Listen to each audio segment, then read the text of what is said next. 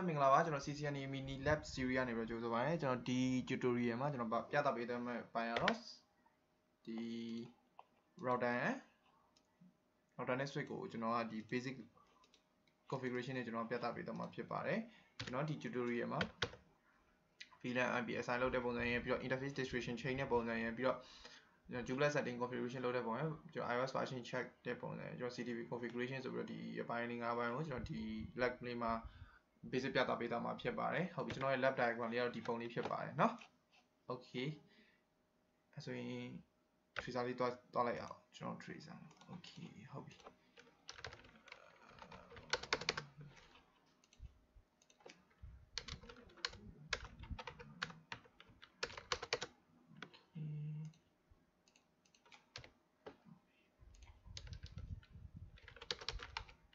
ကုန်လုံးကျွန်တော် restart ချလိုက်တယ် နော်ညောင်အောင်ဟုတ်ပြီအဲဆိုရင်ကျွန်တော်ဒီမှာကျွန်တော် IP ပေးထားတယ်ကျွန်တော်ဒီ interface တွေမှာ okay အဲဆိုကျွန်တော်ဒီ router 1ရဲ့နော်ဒီ router 1မှာ interface မှာ IP ရင်ပေးလိုက်မယ် config ဒီဟုတ်ကျွန်တော်ကျွန်တော်ဘာလုပ်မလဲဆို host name လေးဒီမှာ router router လို့ကျွန်တော်ဒီမှာပေါ်နေတယ် အဲ့ဒါလို့ကျွန်တော်အဲနာမည်ပြောင်းလိုက်မယ်เนาะအဲဆိုကျွန်တော်ဗာပေးမယ်ဆိုတော့ host name အဲ့တော့ကျွန်တော်ဗာပေးဆို r1 လို့ပြော r1 ဟုတ်ပြီเนาะဒီဒီဒီကောင် r1 လေးဖြစ်သွားပြီအဲ့ဆိုကျွန်တော် ip ပေးမယ် interface တွေဝင်မယ် interface f0/0 ip ပေးမယ်เนาะ ip က ip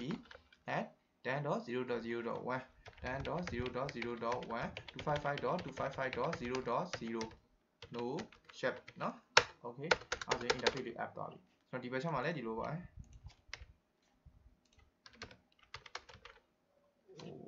ပဲ okay sorry comment မှာတော့ interface က f0 0 IME ဘယ်လောက်လဲ10.0.0.2 okay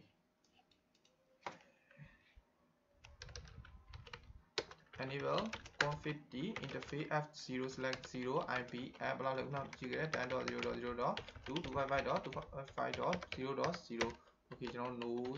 share ပြရပြရအဲဆိုရင် interface ကျွန်တော် IP ပေးပြီးသွားပြီအဲဆိုသူ့ကိုကျွန်တော် host name ချိန်ရအောင်မယ်လေဒီမှာကျွန်တော် host name ချိန်မယ်လောက်လဲဒီ router router 2လို့ကျွန်တော်ပေးလိုက်မယ် r2 okay အဲဆိုကျွန်တော်ဘာလုပ်မလဲဆိုရင်တော့သူ့ကိုကျွန်တော်ဒီတိုင်းဒါ running config ပေါ်မှာကျွန်တော်တို့အလုပ်လုပ်နေကျွန်တော် configuration နဲ့အဲ့ဒါကိုကျွန်တော် set config တွေကို save လုပ်မယ်ကျွန်တော် save လုပ်ဖို့ save လုပ်ပြီးကျွန်တော်လွယ်လေးပြောပြမယ်နော်ကျွန်တော်သူ save လုပ်ရင်ဘယ်လိုလုပ်လဲဆိုတော့ copy ကျွန်တော် running config ပေါ်ကနေ source နော် run ဆိုတာဒီမှာ source နော် destination ဘယ်ကိုတောင်းလဲ static config ကိုတောင်းလို့ stat config လား okay နော်ဒီဘက်မှာလည်းဒီလိုပဲ save မှာလာမယ်နော်ဘယ်လိုလဲ copy ကျွန်တော် base state ကနေလဲဆိုတော့ source က running config အဲ destination က static config okay အဲ့ဆိုရင်ကျွန်တော်ဒါ save လုပ်ပြီးသွားပြီနောက်တစ်ခုကကျွန်တော်ဘာလုပ်မလဲဆိုတော့ version ကြည့်မယ်ပေါ့ဒီ router version ဘယ်လောက်လဲဆိုတော့ show version သူ့ version ကဘယ်လောက်လဲကျွန်တော်သူ့ router series က1.41ကိုသုံးထားတယ် version က12.4 okay ဟုတ်ပြီမ switch မှာလည်းသူ့ရဲ့ version ကိုချက်လို့ရတယ် okay show file Cisco မှာတခုသိချင် show နဲ့ကြည့်ရနော်2950 version တွဲပါမယ် okay အဲဆိုရင်ကျွန်တော် version ကြည့်တာနောက်တစ်ခုကျွန်တော်ဘာလုပ်လဲဆိုတော့သူတို့ရဲ့ interface မှာရှိတဲ့ description name လေးကျွန်တော်ချိန်မယ်နော်အဲဆိုကျွန်တော်ဘယ်လဲတော့အရင်ဆုံးသူ့ရဲ့ interface တွေဝင်မရမယ်ဝင်မရမယ်နော် okay အဲ့တော့တူမှာပဲလောက်လိုက်မယ် okay သူ့ရဲ့ interface တွေကျွန်တော်ဝင်မရမယ်အဲဆိုရင်ဘယ်လိုဝင်မလဲ config d နော်ဘယ်လဲတော့မလဲ interface f0 select 0နော်သူ့ရဲ့ description name ကိုကျွန်တော်ချိန်မယ် ds လို့ရေးပြီးတက်ကုန်လိုက်ရင်မှာ description ဆိုပြီးတက်လာကျွန်တော်ဘယ်လိုဘယ်လိုပေးမလဲဆိုတော့ ray 5 ccna mini lab 2အဲ့ဒါဘယ်လိုချက်မလဲဆိုတော့ show interface f0 select 0ဆိုပြီး interface တည်တဲ့တစ်ခုတွေကိုကြည့်မယ် f0 select interface တစ်ခုတော့ description ချိန်တော့ဗလား ray 5 cisco mini lab 2 description name ကကိုကြိုက်တာပေးလို့ရတယ်နော်ဒါတည်ပြီးသားပါပဲဟောကျွန်တော်ဒီဘက်မှာလည်းချိန်လိုက်ပြီလားဆိုရင် enable config comment မမြန်ဆိုတာ comment မရလို့ရှိရင်အဲ့မှာ तू လောက်တဲ့အစီအစဉ်နည်းနည်းကြာသွားတယ်တတိထားပြီးပြန်စစ်ပြီးကျွန်တော် keyboard ကဒီမှာကတ်နေလို့ကျွန်တော်ဘယ်တော့မှ interface တက်သွားမယ် interface f0 select 0 vulnerability switching မှာဒီရဲ့နေပြီးတော့ tag ay ခုံလိုက်အဲ့ဆို description တန်းတက်လာမယ်အဲ့ဆိုကျွန်တော်ဘယ်လို change လဲဆိုတော့ rate 5 ccna mini lab 1အဲ့ဒါကျွန်တော်ပြန်ဆက်ကြည့်မှာ show interface f 0 select 0 okay အဲ့ဆိုကျွန်တော် description လဲချိန်ပြီးသွားပြီနောက်နောက်တစ်ခါကျွန်တော်ဘာလုပ်မလဲဆိုတော့ကျွန်တော် Joomla setting ချိန်မယ်ကျွန်တော် SP Joomla setting ကဒီတိုင်းထားလဲရတယ် အကဲကျွန်တော်တို့ကထားပါတော့ဒီ band ဒီဒီ port ကိုကျွန်တော်ဒီလောက်ပဲပေးမယ်ဒီ speed ပဲပေးမယ် time map ပဲပေးမယ် 100 map ပေးမယ်မဟုတ်ဗျာကျွန်တော်တို့စိတ်ကြိုက် manual configuration လုပ်ချင်လို့ရှိရင်လုပ်လို့ရကျွန်တော် command လေးပြောပြပေးသားမယ်အဲမလုပ်လည်းဘာမှမဖြစ်ဘူးเนาะဒါပေမဲ့တခုရှိရအကယ်၍ကျွန်တော် Jubilee setting ကစားပြီဆိုရင်သူနဲ့ directly ချိန်ထား interface နှစ်ခုလုံးကအာ match ဖြစ်မှရမှာเนาะအကယ်တစ်ခုက30တစ်ခုက100ဆိုရင်ကျွန်တော်အဆင်မပြေဘူးเนาะလုပ်မယ်ဆိုရင်တော့ဒါလေးမိမှာဆိုလို့ပါအဲဒါကျွန်တော်ချိန်မယ် No, the router 1 f0 0 interface ကိုသွားမယ် okay နော် router 1ကိုယင်ချင်းကျွန်တော် switch no switch f0 1ကိုယင်ချင်းမယ် okay. Config the interface f0 1အဲ့ဒါဘယ်လိုချင်းမလဲဆိုတော့ speed ကိုဘယ်လောက်ထားမလဲ speed 100နော် g plus က4အဲ့ဒါကျွန်တော်စစ်ကြည့်မယ် show interface f0 1 နော် Harriet နော် Fuju Blast okay အဲ့ဒီမှာ interface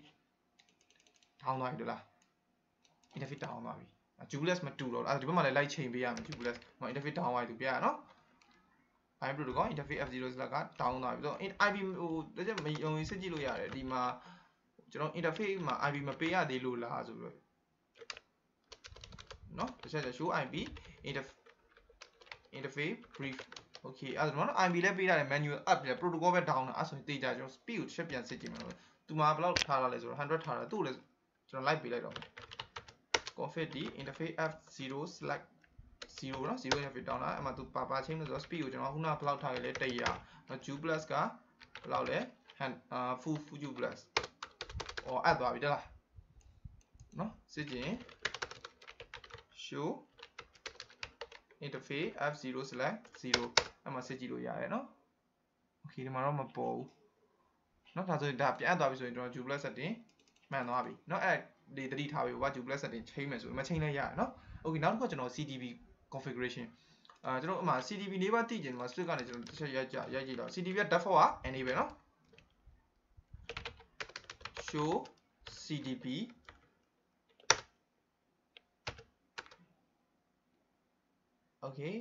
okay အဲဒီလေးကြည့်မယ် show CDB အနည်းအကြီး h view ဟာနေပါ okay ဒါသူ့ရဲ့ interface နှစ်ခုလုံးသူမှတ်ထားတယ် router 1 router 2နော်ဟုတ်ပြီကျွန်တော် CDP ပိတ်လိုက်မယ်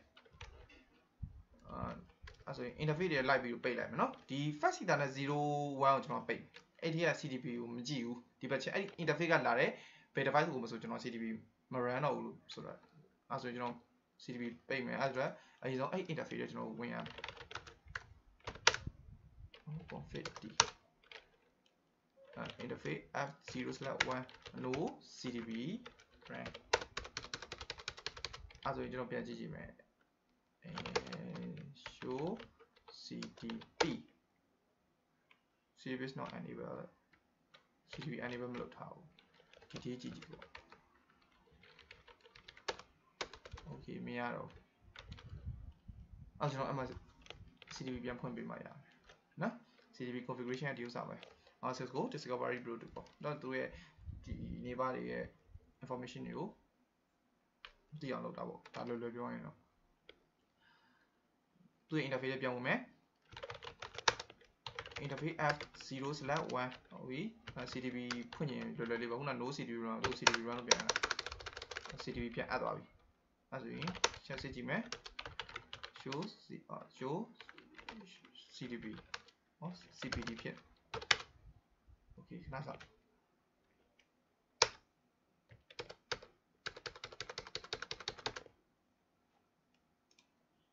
ping ကြောင်းခေါ်ချင် ping 10.0.0.2อืมနောက်တစ်ခေါက်100 okay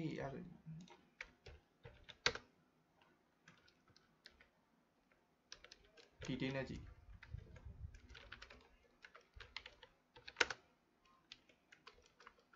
or CDB နေပါနေပေါက်ကြည့်ပါ okay เนาะနော် R2 ဒီဘက်အချမ်းမဲ့ run နဲ့ကျွန်တော်တစ်ချက်ပြန်စစ်ကြည့်မယ်เนาะဒါလည်း troubleshooting ပဲတစ်ဖက်ကပေါ်တယ်ဒီဘက်ပေါ်တယ်ဒီဘက်မပေါ်ဘူး okay เนาะအဲ့ဒါဆိုကျွန်တော်တစ်ချက်ပြန်ကြည့်မယ်အဲ့ခုန interface ကျွ in the video channel piamo meno config t interface f0 slash 1 ctb run. So ctb running and show. Ctb a bar dt jubilees will advertisement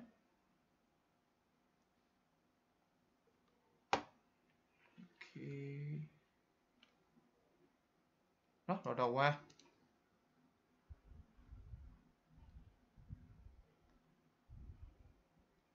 router 2နော်နှစ်ခုလုံးကျွန်တော် detail ကြည့်ပွားရနော်အာ okay detail နဲ့မကြည့်ရင်လည်းမ show ctv နေပါနဲ့ကြည့်ကြည့်တော့နှစ်ခုပေါ်တယ်နော်နော် enable လောက်တာရယ် disable လောက်တာရယ် default က enable okay အဲ့ဆိုရင်ကျွန်တော်ရဲ့ဒီ Cisco router and switch basic ဆိုတဲ့ဒီ tutorial လေးကတလောက်ပါပဲကျွန်တော်ဒီမှာ comment လေးတွေရေးပေးထားတယ် နော်ဒီမှာကြည့်ကြည့်လို့ရှိရင်လည်းဒီမှာ CTV နေပါဒီလေး R1 အတစ်ထပ်ဖြည့်ပေးလိုက်ပါမယ် show CTV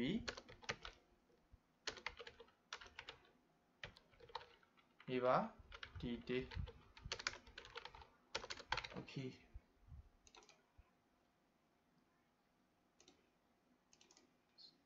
နော် show ctv နေပါဒီ day เนาะအဲ့မှာကျွန်တော်ကြည့်လို့ရတယ် okay ကျွန်တော်ဒီ tutorial လောက်ပါပဲကျွန်တော်နောက် tutorial မှာတွေ့မယ်ဒီ plugin ရဲ့ project file နဲ့ presentation file ကိုလို့ကျွန်တော် comment box မှာလာတောင်းလို့ရပါတယ်เนาะအားလုံးကျေးဇူးတင်ပါတယ်